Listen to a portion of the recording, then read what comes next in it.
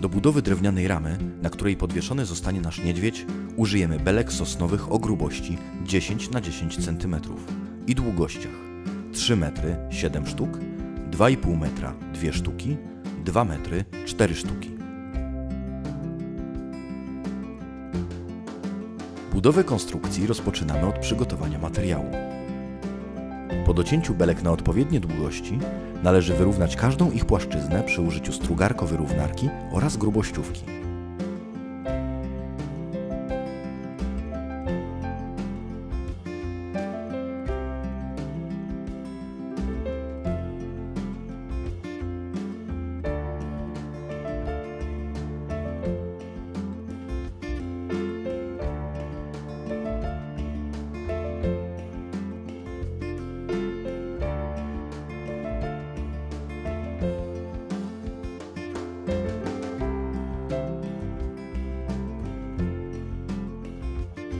Następnie, używając frezarki ręcznej, zaokrąglamy ostre kanty belek.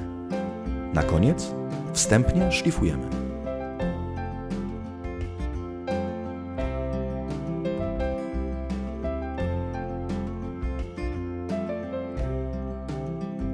Po wykonaniu tych czynności możemy przejść do tworzenia ramy. Budując naszą konstrukcję, belki będziemy łączyć przy użyciu wpustowego połączenia narożnikowego, tak zwany jaskółczy ogon, oraz łączenia czopowego. Jaskółczy ogon jest to połączenie kątowe elementów z drewna litego. Na końcu jednego z łączonych elementów wycinamy wystający trapezoidalny trzpień ogon, w drugim elemencie wycinamy otwór gniazdo, które kształtem i wymiarami musi pasować do trzpienia. O ile wycięcie go nie nastarcza trudności, to środek gniazda musimy wydłutować, co jest o wiele bardziej pracochłonne. Tym sposobem łączymy wszystkie skrajne belki naszej konstrukcji. Natomiast dwa wsporniki pionowe połączymy z górą i podstawą przy zastosowaniu czopów prostych. Rozpoczynamy od wycięcia gniazda w górnych i dolnych poziomych belkach. Dla ułatwienia i przyspieszenia prac w pierwszej fazie użyjemy do tego ręcznej frezarki.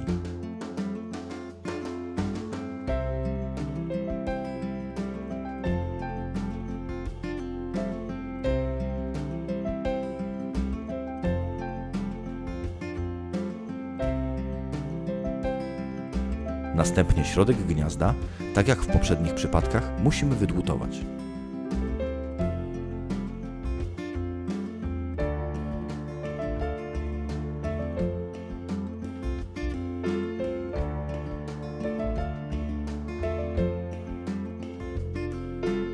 Kolejny krok to stworzenie czopów po obu stronach wsporników pionowych.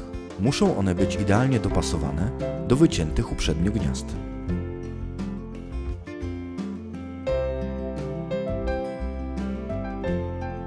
Wstępnym wycięciu ręczną piłą dopasowujemy je przy użyciu narzędzi precyzyjnych, dłuta i pilnika.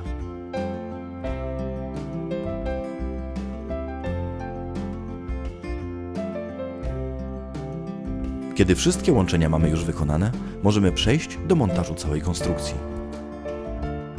Rozpoczynamy od podstawy, dokładamy belki pionowe i na koniec górę konstrukcji.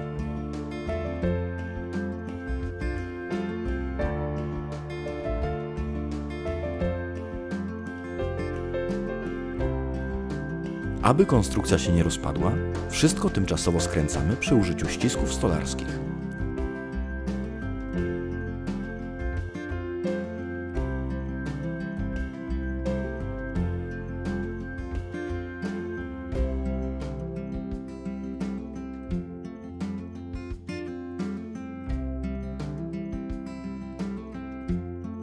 Przed skręceniem całości pozostało nam jeszcze wykonanie tylnej belki poprzecznej z gniazdami na linki sterujące lalką.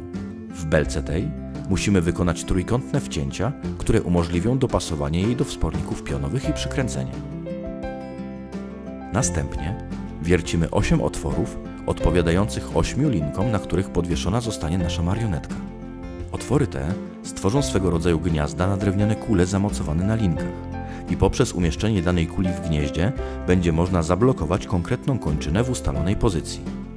Poza otworami w belce wycinamy szczeliny umożliwiające przekładanie linek. Po jednej do każdego otworu o szerokości nie mniejszej niż średnica naszej linki. Po wykonaniu tej czynności Belka jest gotowa i możemy przystąpić do skręcania naszej konstrukcji.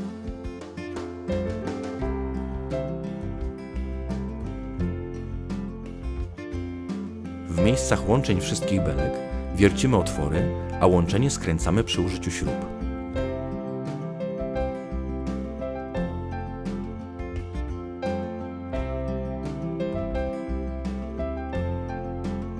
Robimy to stopniowo. Demontując jeden ścisk stolarski, wiercimy otwór i skręcamy śrubą to miejsce. Kolejny ścisk możemy odkręcić dopiero po wkręceniu śruby w miejsce poprzedniego.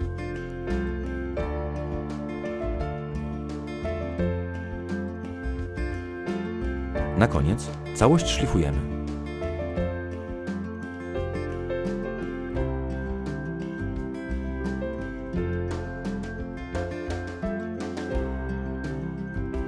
Po tej czynności rama jest gotowa.